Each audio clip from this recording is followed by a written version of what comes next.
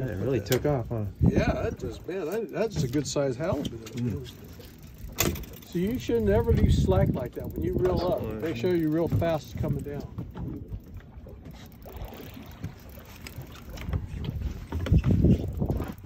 Anything? So you don't ever leave slack like that. You turn the drag. Are you coming up? I think so.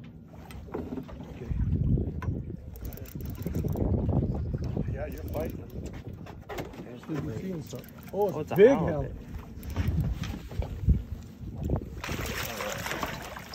Good one. Good one.